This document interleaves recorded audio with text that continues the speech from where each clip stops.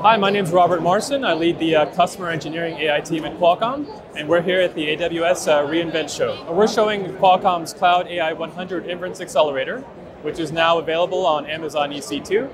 Uh, this is a 75 watt card that delivers 350 TOPS of integer performance. I'm Rashid Attar. I'm head of engineering and GM for Qualcomm's cloud business. I'm excited to be here today at reInvent.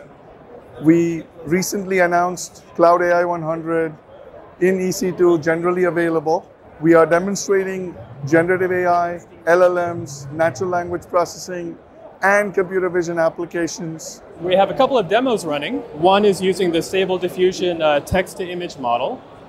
So we have a few prompts that are preloaded here. I'll select one, and that's going to generate a couple of images for us. So with this model, we're able to generate images every uh, two to three seconds. We're also showing a translation model. This is the Opus MT machine translation model. Translate from English to uh, French, German, Hindi, Chinese. We'll select one here.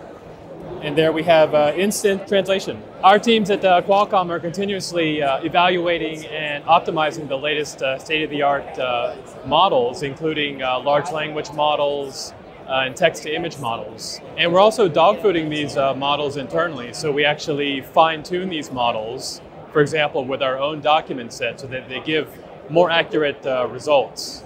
Uh, and we help our developers to do the same fine tuning. And we provide these types of instructions on our, on our GitHub. Thanks for watching the demos. For more information, check out our Cloud AI SDK page on Qualcomm.com.